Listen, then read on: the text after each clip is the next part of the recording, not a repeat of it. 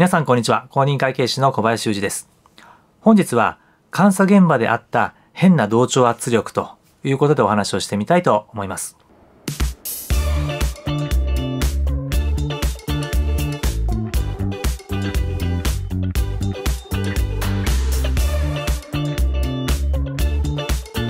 まあ、監査現場であった変な同調圧力ということなんですけれども、まあ、今はどうかわからないんですけれども、私がいた十数年前ですね、まあ、とある大手のゼネコンのところの勧誘先があったんですが、まあ、その現場で、まあ、変な同調同調圧力があったなっていうことでお話をしたいんですが、まあ、通常ね、あの、現場責任者、インチャージと言ったりもしますけれども、まあ、このインチャージは、まあ、公認会計士であって、まあ、その中の法人の役職、まあ、呼び方は法人によって異なりますけれども、私の時にはこうシニアという階級の人が現場責任者をやるのが一般的でした。まあ、ただ、あの、クライアントの規模が大きくなったりすると、そのシニアの1個上の階級のマネージャー、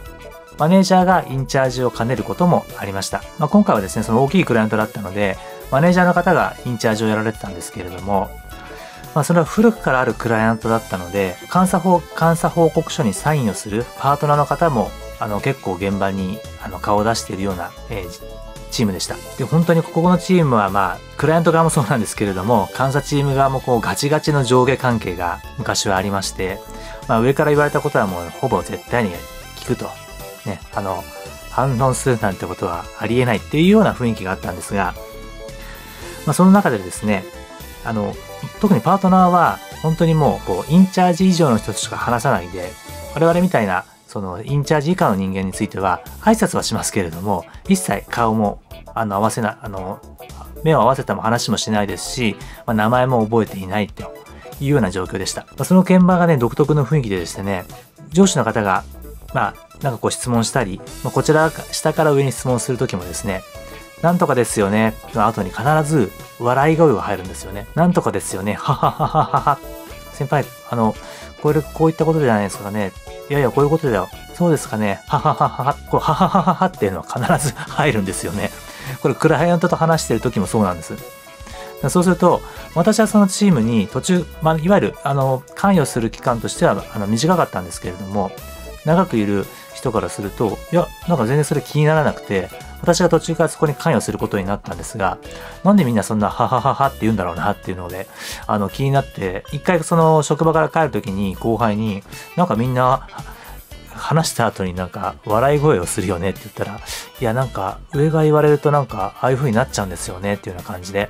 まあそうしないと変なような感じになるとそういったような雰囲気があるチームでした。まあ、同じことをね、違うチームでやったら、お前なんで笑ってんだみたいなことになったので、あの、やっぱりそのチーム独特の雰囲気だったんだなっていうのがあると思い、ありました。まあ、皆さんもこれから監査チームに入りますと、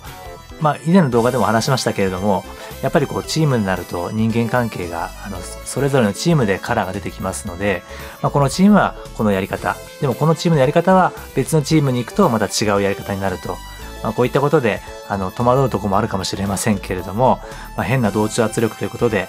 なぜかあの話した後に笑うと。こういったような変な同調圧力がありましたというお話をさせていただきました。まあ、いろいろ監査チームによっても面白いキャラがいたりですとか、あの、全くもう無口で何も話さないでやる方もいらっしゃったりとか、いろいろあるんですけれども、まあ、こういったところも、あの、監査現場の、まあ、一つの楽しみ方というような感じもしています。それでは本日の動画は以上となります。また次の動画でお会いしましょう。本日も動画を最後までご視聴いただきましてありがとうございました。